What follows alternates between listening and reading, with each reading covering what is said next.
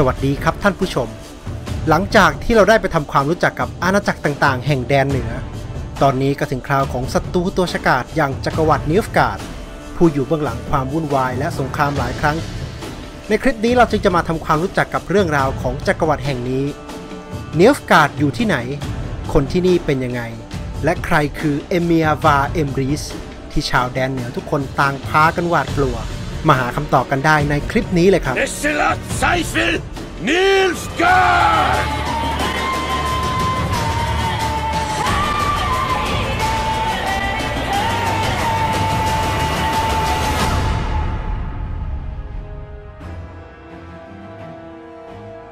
จักรวรรดินิฟการ์ดคือจักรวรรดิโบราณที่ตั้งอยู่ทางตอนใต้ของทวีป โดยมีเมืองหลวงคือมหานครนิฟการ์ดบนริมฝั่งแม่น้ำอัลบา ว่ากันว่าผู้คนในดินแดนนี้สืบเชื้อสายมาจากพวกเอลฟ์ที่แต่งงานและมีลูกกับมนุษย์ จึงทำให้นิฟการ์ดได้รับวัฒนธรรมมาจากพวกเอลฟ์เยอะทีเดียว ไม่ว่าจะเป็นภาษาที่มีความคล้ายคลึงกับพวกเอลฟ์มากถึง 90% Even the same. ต่างกันก็แค่สำเนียงและคำศัพท์บางส่วนเท่านั้น Med våldtäkt en gehedvin. Med förtrövheten Bellenglek. นิฟการ์ดเป็นสังคมสมัยใหม่ที่มีระเบียบ ประชาชนชาวนิฟการ์ดทั้งในเมืองหลวงและเมืองขึ้นจะต้องทำหน้าที่ของตัวเองให้ดี และปฏิบัติตามกฎหมายที่เคร่งครัด หากฝ่าฝืน โทษก็มีตั้งแต่โดนลงหวายหลังลาย Defective goods, 15 lashes with a knout. ไปจนถึงประหารชีวิต จนบางครั้งก็อาจดูโหดร้ายไปบ้างสำหรับคนนอก นอกจากเรื่องของความเป็นระเบียบแล้ว คนที่นี่ยังไม่ค่อยเชื่อในเรื่องเหนือธรรมชาติอื่นๆ รวมถึงเรื่องพูดผีและแวมไพร์ซึ่งต่างจากชาวแดนเหนืออยู่ครับ แต่ก็ไม่ใช่ว่าชาวนิฟการ์ดจะไม่เชื่อในอะไรเลยนะครับ คนพวกนี้นับถือ The Great Sun ซึ่งเป็นเทพเจ้าแห่งดวงอาทิตย์ แต่ก่อนลัทธินี้มีคนนับถือแค่ในเมืองหลวงเท่านั้นทว่าพอมาถึงรัชสมัยของจักรพรรดิเฟอร์กัสวาเอมริสเมื่อ 50 ปีก่อน พระองค์ก็เปลี่ยน The Great Sun ให้กลายเป็นสัญลักษณ์ที่จะรวมทั้งจักรวรรดิให้เป็นหนึ่งเดียวกัน ผ่านการใช้เส้นสายและเงินทอง จน Count of the Great Sun กลายเป็นที่แพร่หลายไปทั้งจักรวรรดิ May the great sun light your path. และเมื่อนิฟการ์ดทำการขยายอาณาเขตไปยึดครองอาณาจักรที่อยู่ข้างเคียง ดินแดนที่ตกเป็นเมืองขึ้นส่วนใหญ่ก็ต้องนับถือ The Great Sun ตามไปด้วย และเมื่อพูดถึงการขยายอาณาเขต สิ่งที่ขาดไม่ได้เลยก็คือกองทัพใช่ไหมครับ เวลาที่ผู้คนพูดถึงนิฟการ์ดเนี่ย สิ่งแรกที่ผู้คนมักจะนึกถึงก็คือ กองทัพนักรบจำนวนมหาศาล ที่สวมเสื้อเกราะสีดำจนได้รับสมญานามว่า The Black Ones และไม่ต้องสงสัยเลยว่ากองทัพนิฟการ์ดคือกองทัพที่เก่งที่สุด และมีอาวุธยุทโธปกรณ์ที่ดีที่สุดในโลก ในระหว่างสงคราม ทางจักรวรรดิสามารถเรียกระดมพลได้ถึง 320,000 คน โดยอาจแบ่งไปโจมตีดินแดนฆ่าศึก 300,000 คน และเหลือไว้ปกป้องตัวจักรวรรดิอีก 20,000 คน เผื่อว่าจะมีใครคิดตีท้ายครัว และจำนวนทหารในกองทัพก็มีแต่จะเพิ่มขึ้นเรื่อยๆครับ ทุกครั้งที่นิฟการ์ดตีเมืองขึ้นได้สำเร็จ และเกณฑ์ทหารใหม่มาเข้ากองทัพ นอกจากนี้นิฟกาดจะเป็นกองทัพเดียวที่มีการใช้ทาสในสนามรบ โดยพวกทาสจะได้รับคำสัญญาว่าจะเป็นอิสระเมื่อชนะสงคราม พวกนี้ก็เลยสู้แบบถวายหัว แต่จะได้อิสระตามสัญญาหรือเปล่าอันนี้ก็ไปคิดกันเอาเองนะครับ นอกจากกองทัพจักรวรรดิแล้ว อีกบุคคลหนึ่งที่เป็นเอกลักษณ์ของนิฟการ์ดก็คือ องค์จักรพรรดิครับนิฟการ์ดเนี่ยปกครองแบบสมบูรณาญาสิทธิราช คือผู้ปกครองจะมีอำนาจสูงสุดทำได้ทุกอย่างก็คล้ายๆกับราชาของแดนเหนือละครับ แต่ต่างกันที่นิฟการ์ดจะมีสภาและก็สมาคมพ่อค้าที่มีอำนาจในการชักจูงให้จักรพรรดิออกนโยบายต่างๆ แต่ท้ายที่สุดแล้วคนที่มีอำนาจในการตัดสินใจก็คือตัวจักรพรรดิเอง ด้วยความที่นิฟการ์ดมีอยู่มาช้านานแล้ว ที่นี่จึงมีจักรพรรดิมาแล้วเป็น 10 เป็นร้อยพระองค์ แต่ในคลิปนี้เราจะมาทำความรู้จักกับจักรพรรดิองค์ล่าสุดที่มีบทบาทในเกมครับ นั่นคือเอเมียวาเอมริสบุตรแห่งเฟอร์กัสวาเอมริสนายเหนือหัวแห่งเมทินาเอบบิงเกเมราเจ้าผู้ครองนาแซ วิโควาโร และซินตราแหมฉายายาวดีนะครับพอๆกับตัวละครในเกม of Thrones เลย แถมคนที่ให้เสียงพากย์กับเอเมียใน The Witcher ภาค 3 จะเป็นดาราอังกฤษชื่อดังอย่างชา l ลส์แดนส์หรือที่เรารู้จักกันในนามไทวินแลนิสเตอร์แห่งเกม of Thrones ด้วยครับ Do you believe I drag you here in the middle of a war to discuss a rumor? We could arrange to have you carried. วัยเด็กของเอเมียนั้นเป็นยังไงก็ไม่มีใครรู้แน่ครับ แต่ที่แน่ๆก็คือตอนที่พระองค์อายุได้ 13 ปี จักรพรรดิเฟอร์กัสวาเอมเรส พระบิดาของพระองค์ได้ถูกยึดอำนาจโดยขุนนางกบฏ ขุนนางคนนี้ได้สั่งให้พ่อมดคนหนึ่งสาบเอเมียให้กลายเป็นอสุรกายที่หน้าตาคล้ายเม่น โดยพระองค์จะอยู่ในร่างนี้ตั้งแต่ตอนเช้าถึงเที่ยงคืน ทั้งหมดนี้ก็เพื่อบีบให้เฟอร์กัสสละอำนาจให้กับขุนนาง เพื่อเปลี่ยนแปลงตัวจักรพรรดิโดยชอบธรรม แต่ยังไม่ทันไรเอเมียก็หนีออกมาจากเมืองหลวงได้ด้วยความช่วยเหลือของคนสนิทสองสามคน ที่ลักลอบพาพระองค์ไปส่งที่แดนเหนือเพื่อหาทางถอนคำสาปไม่นานพระองค์ก็มาถึงชายป่าของอาณาจักรซินตรา และตัดสินใจใช้ชื่อปลอมว่าดูนี่ อสูรเม่นแห่งเออร์เลนวาลตามชื่อป่าแห่งนี้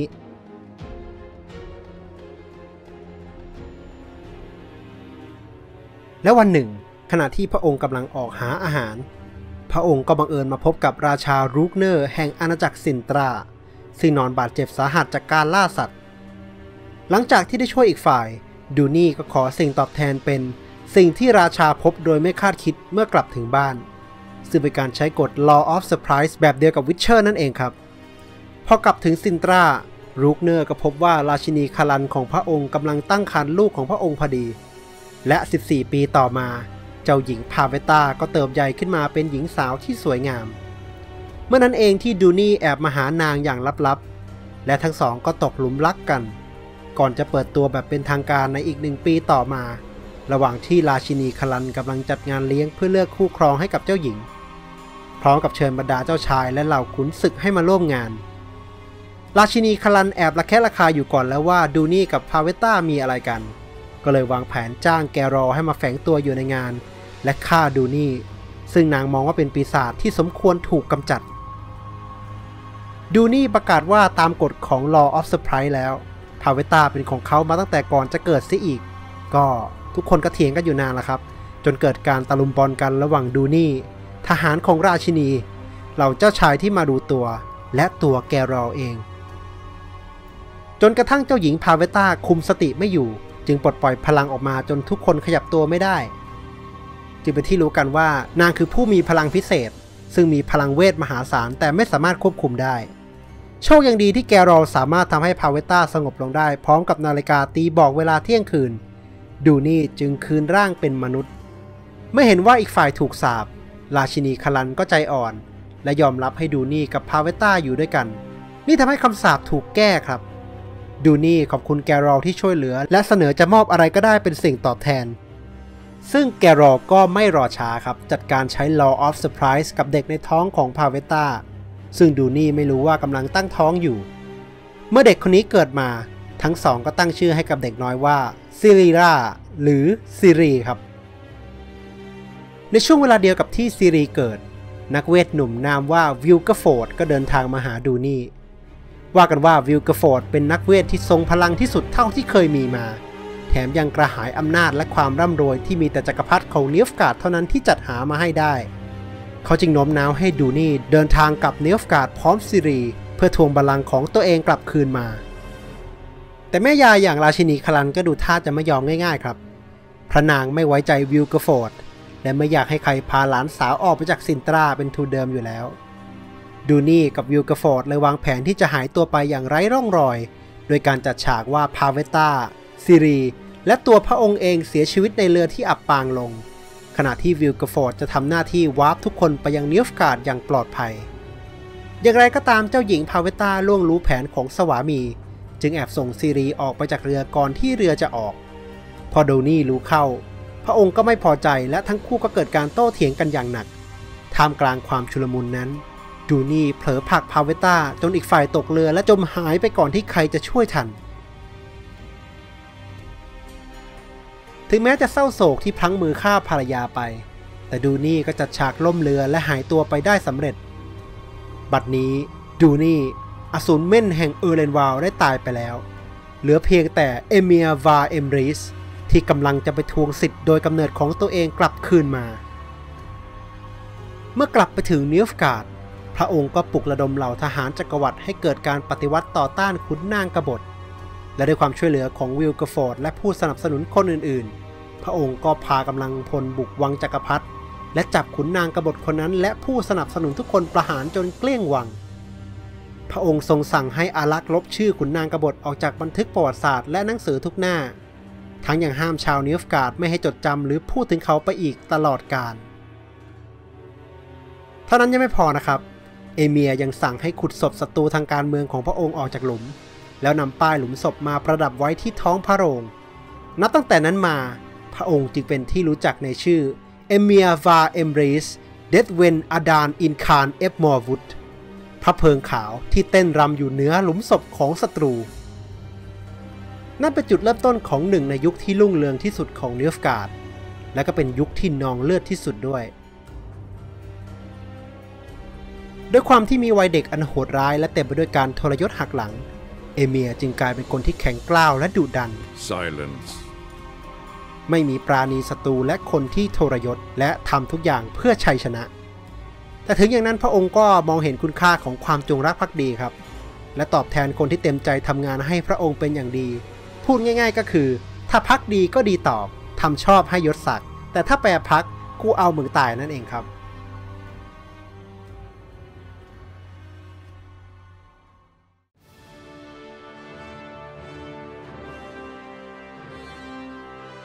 รัชสมัยของเอเมียคือยุคที่นิฟกาดแผ่ขยายอาณาเขตออกไปได้กว้างไกลที่สุด โดยดินแดนส่วนใหญ่มาจากการพิชิตอาณาจักรอื่นๆ ผ่านการทำสงคราม ไล่ไปทางเหนือจนจรดแม่น้ำเยรูกาที่อยู่ตรงใจกลางจักรวรรดิก็คือมหานครนิลฟ์การ์ดตรงปากแม่น้ำอัลบานครแห่งนี้ได้ฉายาว่านครแห่งหอคอยทองคำจากสถาปัตยกรรมที่ล้ำหน้าที่ได้รับอิทธิพลมาจากพวกเอลฟ์ และมีเพียงแต่คนที่อาศัยในนครนี้เท่านั้นที่จะถือว่าเป็นชาวนิลฟ์การ์ดที่แท้จริง คนพวกนี้เชื่อว่าตัวเองมีความพิเศษเหนือมนุษย์ทั่วไป จากสายเลือดเอลฟ์ที่อยู่ในตัว ถัดจากมหานครนิฟการ์ดก็คือเมืองขึ้นและอาณานิคมต่างๆครับ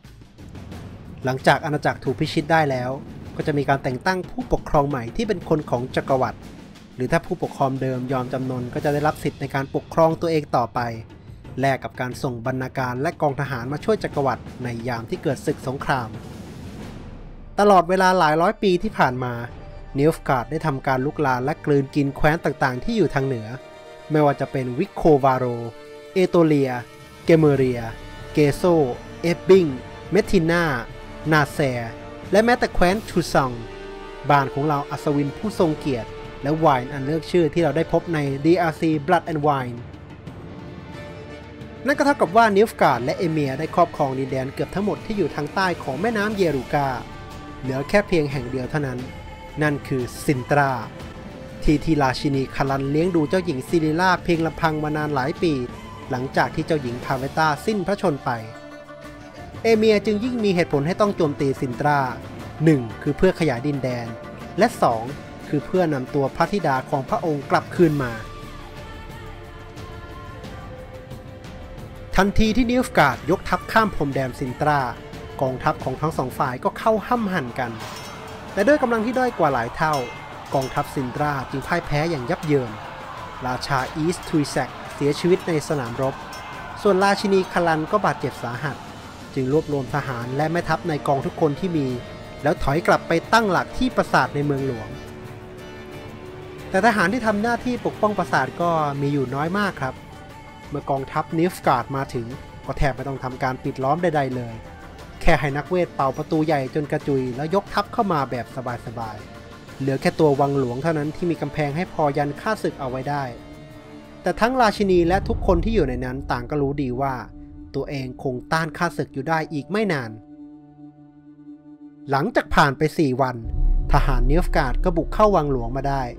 ชาวซินตราที่ไม่อยากตกเป็นทาสของนียฟกาดต่างลงมือฆ่าลูกของตัวเอง แล้วฆ่าตัวตายตามไป ราชินีคารันเองก็ขอให้ใครสักคนช่วยปลิดชีวิตนาง แต่ไม่มีใครกล้าลงมือ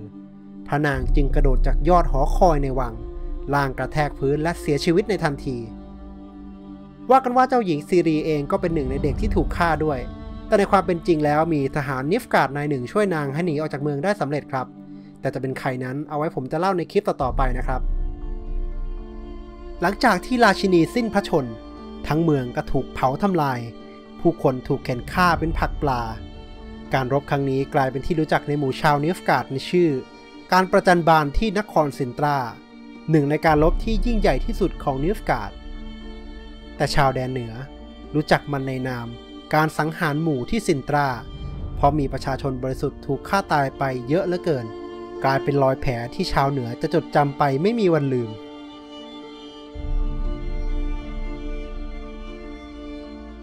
แม้ครั้งนี้จักรพรรดิเอเมียจะไม่ได้ตัวพระธิดามาตามที่ตั้งใจ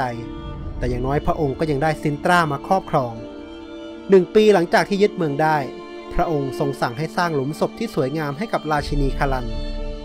และตั้งตนเป็นตัวแทนผู้ปกครองอาณาจักร นั่นเท่ากับว่าจักรวรรดิเนฟกาดได้ครอบครองดินแดนทั้งหมดที่อยู่ทางใต้ของแม่น้ำเยรูกาโดยสมบูรณ์ ซึ่งก็เท่ากับการครอบครองโลกไปครึ่งใบเลยนะครับ แต่เอเมียย่อมไม่หยุดอยู่แค่นั้นแน่นอน พระองค์เริ่มมองข้ามแม่น้ำไปทางเหนือ และมองเห็นดินแดนเหนือที่อุดมสมบูรณ์ มั่งคั่ง และปั่นป่วนจากการแย่งชิงกันระหว่างอาณาจักรต่างๆ เอเมียวาเอมริสจึงเริ่มวางตัวหมากลงบนแผนที่อีกครั้ง เพื่อที่วันหนึ่ง ธงตะวันสีทองจะโบกสะบัดอยู่บนปราสาททุกแห่งในโลก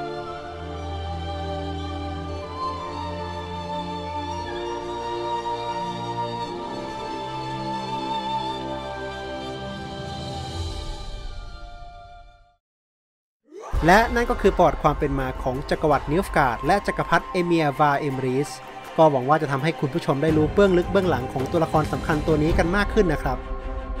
ก่อนจากกันไปถ้าชอบคลิปนี้ก็อย่าลืมกดไลค์และกด subscribe เพื่อติดตามคลิปใหม่ๆที่ ผมจะพยายามลงให้ได้ทุกสัปดาห์นะครับ นอกเหนือจากการลงเกมเพลย์แล้วก็การไลฟ์สดแบบเล่นไปเล่าไปนะครับสำหรับวันนี้ลาไปก่อน สวัสดีครับ